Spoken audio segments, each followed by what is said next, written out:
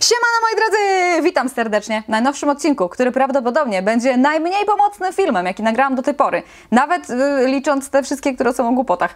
Otóż y, pojawia się niezliczona ilość pytań na temat depilacji i tego, jakie ja polecam sposoby depilacji. I ja za każdym razem podkreślam, że w tym przypadku to ja w ogóle nie jestem pomocna, ponieważ mam włosy bardzo cienkie i jest ich bardzo mało. Pod pachami to mam może, nie wiem, po 8, po 9 sztuk. Teraz będzie dużo informacji, takich może za dużo nawet, teraz jak się tak zastanowię nad tym. No ale już trudno. Rozpoczęłam, to będziemy brnąć przez to. E, Jeśli chodzi o depilowanie ciała, no to u mnie w grę wchodzą tylko okolice bikini, pachy i łydki. Łydki mogę depilować raz na 3, 4, 5 miesięcy, więc bardzo rzadko, bo tak jak mówię, te włoski są cienkie, jest ich bardzo mało, są niewidoczne. Bikini, no tam nie wiem, raz na dwa miesiące może. No i pachy to jak, o, poza tym, że po prostu widać pojedyncze ciemne włoski, no to jakbym się uparła i to wyrywała pensetą, to mogłabym prawdopodobnie nigdy tego nie depilować. Ale było mnóstwo pytań, jakie jest moje zdanie o tym, o tamtym, o siamtym, no i postanowiłam, że dzisiaj właśnie usiądę i Wam opowiem o wszystkich sposobach depilacji, których do tej pory próbowałam. Ta rzecz, o której najczęściej wspominałam na kanale, to były kremy do depilacji, ponieważ yy, ja jakoś miałam uraz do tych wszystkich innych rzeczy bolesnych. Ja mam ogólnie bardzo niski próg bólu. Ponownie dlatego ten film będzie pewnie niezbyt pomocny, bo wystarczy, że nie wiem, ktoś mnie uszczypnie albo ja się lekko stuknę jakąś szafkę i tak dalej. Mnie od razu strasznie boli, ja jestem umierająca. Serio. Nie przesadzam, nie przesadzam. Zacięcie papierem, koniec świata. To już jest cały dzień po prostu trzeba walczyć o to, żeby przetrwać. I w związku z tym niskim progiem bólu yy, postanowiłam, że moim sposobem depilacji będą kremy yy, właśnie do depilacji. Myślę, że tego wyrazu będę dzisiaj nadużywać i to grubo.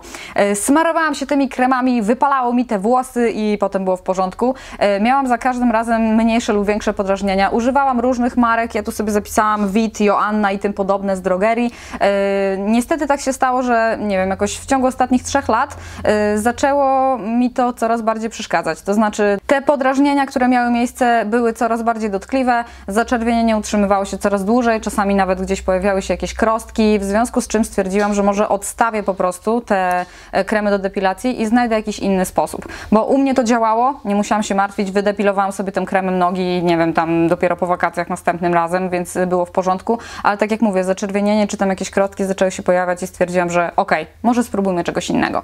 Miałam jeden epizod z plastrami do depilacji, a właściwie nie, przepraszam, pozwólcie, że powtórzę to zdanie jeszcze raz poprawnie. Miałam jeden epizod z plastrem do depilacji, ponieważ przykleiłam i oderwałam tylko jeden i nigdy już to się więcej nie powtórzy. O matko! Strasznie to bolało. Ja mam, tak jak mówię, cienkie włoski, nie wiem jak to robią dziewczyny, które mają grube, naprawdę podziwiam y, to, to wytrzymałość, bo ja takiej nie mam.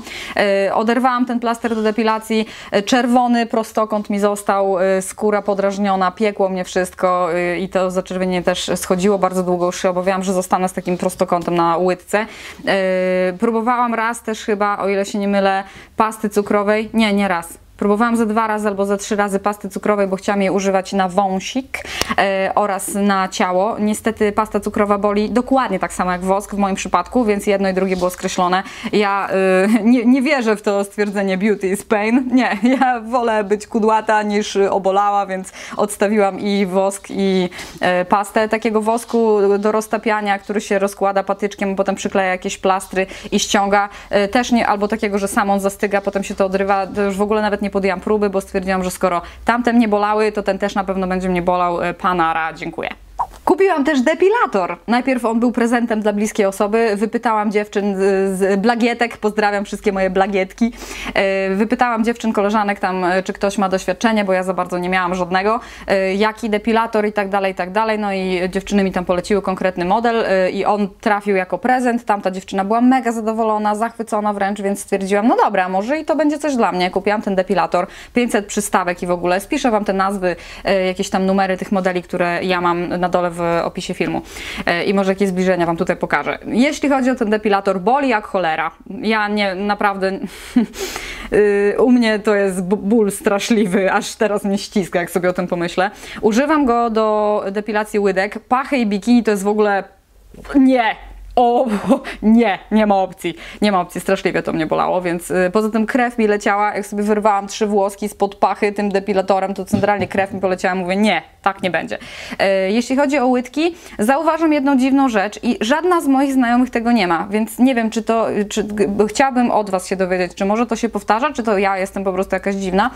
Y, przy depilowaniu łydek, owszem, przejadę sobie te łydki moje i jest super, bo przez czasem 7 miesięcy nie muszę już depilować nóg, tylko że mam niesamowicie suchą skórę potem, bo to jest tak, że te mini pensetki, które są na rolce, one troszkę skubią włoski, a troszkę mam wrażenie skubią skórę i potem niesamowicie mi się łuszczy skóra na łydkach. I to tak ze 3-4 dni. Ja muszę przejechać e, szczotką na sucho, e, zrobić peeling i posmarować jakimś bardzo takim okluzyjnym kremem, bo inaczej ta skóra mi się łuszczy przez nawet tydzień, nawet czasami dłużej. Więc nie wiem, jeśli Wam się to zdarzyło, że od depilacji macie tak, że po depilatorze takim mechanicznym coś się dzieje, że macie skórę przesuszoną, bardzo bym była wdzięczna za pomoc, bo już zaczęłam się zastanawiać, czy coś jest ze mną nie tak. Zapytałam każdej znanej mi kobiety, y, takiej normalnie w życiu, która używa depilatora i wszyscy spojrzeli na mnie z taką miną mówiącą y, nie, mm, to się nigdy nie dzieje. I przechodzimy do momentu, w którym Paulinka wpadła na pomysł, żeby porwać się na taką y, depilację laserową, nazwijmy to, czyli jakieś urządzenie w tej metodzie IPL, która strzela światłem i to ma tam sprawiać, że włoski będą wolniej rosły. Tu się zatrzymam na sekundę i podkreślę po raz kolejny, żebyście wzięli pod uwagę, że ja mam bardzo mało, bardzo cienkich włosów, więc y, moje doświadczenia z tym produktem mogą być kompletnie inne niż wasze, więc nie rzucajcie się od razu, nie kupujcie tego produktu po moim poleceniu, jeżeli macie super grube włosy i tak dalej, bo być może to się u was wcale nie sprawdzi. Ja, tak jak wspominam, nie jestem najlepszym testerem takich rzeczy, wam opowiadam po prostu o moich doświadczeniach. Kupiłam sobie z y, bodajże Philipsa, y, też wam zrobię oto zbliżenia, żebyście widzieli, ja mam tylko tu na kartce napisane, ale nie pofotygowałam się do łazienki, żeby spisać te numerki. E, taki właśnie laser domowy, nazwijmy to ten system IPL, który miał e, powodować, że włoski będą rosły wolniej. W moim przypadku to działa fantastycznie. Rzeczywiście jest tak, że pod pachami to nie wiem ostatnio, kiedy musiałam się wydepilować, chyba w we wrześniu może. Dzisiaj mamy y, styczeń, kiedy ja to nagrywam, więc y, całkiem, całkiem zacnie to poszło. Jeśli chodzi o okolice bikini, to jak y, trochę pozostawię włoski do odrośnięcia, to mogę centralnie zobaczyć te prostokąty, które się nałożyły, bo tam przykłada się do jakiegoś płaskiego, do jakiejś płaskiej powierzchni, strzela tym urządzeniem, potem się przykłada dalej, tak dalej, tak dalej, tak dalej po całości. I tam, gdzie mi się pokryło, gdzie strzeliłam dwa razy, to widać miejsca, w których już włosy w ogóle nie rosną. I ogólnie to wygląda bardzo dziwnie, jak takie pole, o które się sąsiedzi kłócą i ten wyciął tamtemu, a tamten wyciął temu. Prześmieszne to jest. E, jeśli chodzi o łydki, to nie używałam, także nie wiem, bo mówię, depilator tam cały czas działa. E, czy dla mnie był ten produkt warty?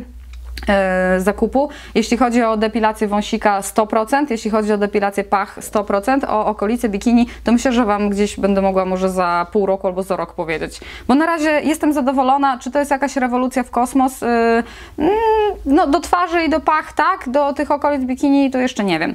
Ale e, przypałętała mi się kolejna sprawa razem z tym IPL-em, ponieważ tak, no nie można było tam użyć kremu ani wosku, bo podrażniało, a nie można na podrażnioną skórę używać tego lasera, nazwijmy to, więc musiałam sięgnąć po maszynkę do golenia. Ja jestem o, szukam wyrazu, a jakiegoś, e, który będzie kulturalny, żeby użyć tutaj. Jestem osobą, która nie lubi maszynek do golenia. Na tym poprzestańmy. E, to jest dla mnie koszmar i niestety za każdym razem, jak używam maszynki do golenia, kończy się na tym, że wrastają mi włoski. I to obojętnie, czy to jest pod pachą, czy to jest w tych strefach bikini, to jest straszne. Potem człowiek ubiera ubrania, jakiś szef gdzieś zacznie y, tam pocierać i to wszystko boli i jest ogólnie nieprzyjemne.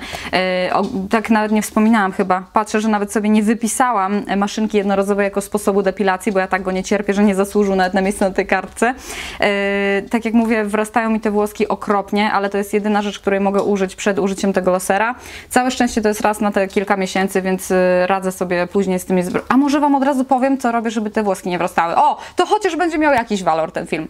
Jeśli mi się tak przytrafi, że wrastają mi włoski, nie, y, jest taka kuleczka, widzicie pod skórą, to jest wszystko czerwone, troszkę bolesne. Ten włosek jest y, y, taki, że nie może się przebić, nie może wyjść ponad naskórek i tam się może zrobić jakieś zapalenie, to ja w takich sytuacjach robię tak, po kolei. E, Szczotkuję to miejsce na sucho. Mam taką szczotkę z Fridge dosyć ostrą i e, szczotkuję właśnie to miejsce. Nie robię tego codziennie, ponieważ moja skóra jest zbyt wrażliwa i zaczyna się łuszczyć, ale tam mniej więcej co drugi dzień, żeby e, naruszyć e, ten naskórek, który jest na, wierzchu. W niektórych przypadkach to wystarcza. Po samym szczotkowaniu posmaruję sobie skórę jakimś e, nawilżającym balsamem i po prostu się ten włosek przebija. Regularnie robię peeling taki normalny pod prysznicem. U mnie to jest mniej więcej raz w tygodniu. Więcej nie potrzebuję. Jeżeli mam takie miejsce, gdzie e, właśnie wrastają włoski, to po prostu trochę dłużej ten peeling wykonuję e, w trakcie tego jednorazowego zabiegu. Nie, że dłużej, że każdego dnia, tylko po prostu zamiast nie wiem, 30 sekund to poświęcam na to 2 minuty. No dobra, 2 minuty to na pewno nie. Trochę dłużej niż zwykle, żeby tu naruszyć wszystko. Sorry, że tak dosadnie pokazałam.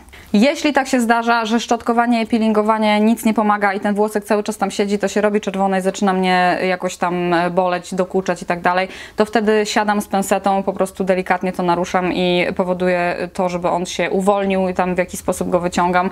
Nie jest to specjalnie taka no nie powiedziałabym, że to jest najlepsze rozwiązanie, ale w moim przypadku, jeżeli już jest jeden taki upierdliwy i wiem, że tam się zrobi zaraz zapalenie, jak się go nie pozbędę, to to jest jedyne to, co działa. Mam bardzo ostrą pensetkę i y, też y, najpierw ją przecieram alkoholem albo przelewam ją wrzątkiem, zanim będę to robić, żeby tam sobie nie dłubać za bardzo. Staram się tego nie rozpróć całego, żeby nie wyciągnąć y, za dużo i żeby po prostu nie napchać tam bakterii do środka, tylko delikatnie naruszyć, żeby czubek tego, ten końcówka tego włoska y, się mm, wysunęła do góry, wtedy łapię za włosek i wyciągam go e, z tego całego tam ambarasu, który się zrobił. Mam nadzieję, że wiecie o co chodzi. Nie zamierzam robić tutaj zbliżenia, nie wam tłumaczyć tego na wideo, po prostu myślę, że to, e, to już będzie jasne. Gdybym miała większy problem, e, w sensie takim, że to nie byłby jeden czy dwa takie włoski, to podejrzewam, że wybrałabym się do kosmetyczki, zapytać, co z tym robić dalej. Wiem, że są takie zabiegi, w których dziewczyny nakłuwają sterylną igłą i wyciągają, e, jeżeli jest takich, e, takich miejsc zmienionych dużo. E, Ja niestety nie mam żadnego doświadczenia, więc nie mogę Wam tutaj pomóc. Podobnie jak nie mogę się wypowiedzieć na temat zabiegów laserowych e, w jakiejś klinice. Ja mam ogólnie spory problem z tym, żeby zaufać jakiemuś miejscu, żeby tam się wybrać. Po drugie, tak jak Wam mówię od początku, ja mam tak mało włosów i one są tak cienkie, że wydaje mi się, że taka seria zabiegów laserowych w salonie to byłaby dla mnie strata kasy.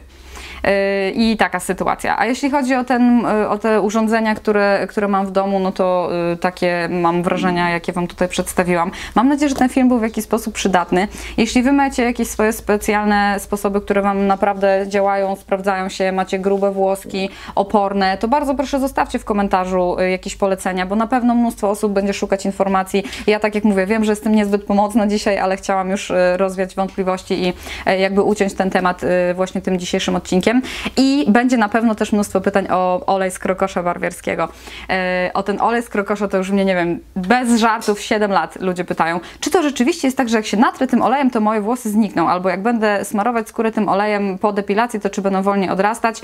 No więc moim zdaniem nie. To nie jest naturalny depilator, to nie jest tak, że jak będziecie smarować y, łydki, które y, już są pokryte naturalną rajstopą z włosów, y, to one nagle, te włosy się zrobią cienkie, a potem wypadną całkiem. To jest jednak olej i on aż takich zdolności nie ma. I teraz to już naprawdę byłoby wszystko. Dziękuję bardzo za oglądanie. Jeśli macie jakieś pytania w związku z tymi przedmiotami, które kupiłam, jakieś ma coś tam, nie wiem, pominęłam, to zostawcie też w komentarzu. Postaram się na możliwie dużo odpowiedzieć w jakimś najbliższym czasie. Ściskam gorąco i do zobaczenia następnym razem. Na razie!